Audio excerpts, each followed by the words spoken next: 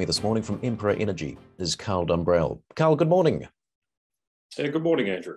Good to speak, Carl. Look, a couple of years uh, since you were last there, but the, the Good Oil Conference in Perth happening next week, you'll be attending. That's right. Three years since we've last presented the Good Oil Conference with the lockdowns of the WA borders. Really looking forward to going back there. Um, number of reasons. It, a major sponsor of the event is also a major shareholder of EMP, and that's Lind Partners. So we're always very receptive to attending events that they support. And it's a great conference for companies of our size with other you know, oil companies and industry leaders. So we'll be there next week. Uh, I present with Phil McNamara on Tuesday afternoon, just uh, mid afternoon. We welcome everybody who's interested to come and see us, both on the Tuesday and the Wednesday meet us, talk to us about what we're doing. Um, our technical team, both Malcolm and Jeff, will be there as well. So a great opportunity to get along. And if you need a ticket in any way, give me a call. You know, got my number there, everyone, and I can get a few people in. With a mention, Carl. Uh, I spot on Friday.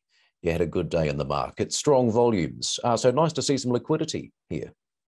Yeah, no, we're very happy on Friday. Um, we traded almost 13 million shares, which is the biggest volume we've traded in a long time we had the ASX query what was going on, and we had to formally respond, uh, which you know every company enjoys a bit of good publicity.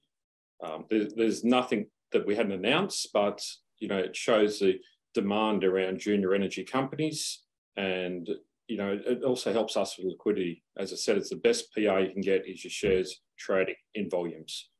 So a number of our shareholders have made some money out of that event yet again, and we, we're always happy to see our shareholders doing well.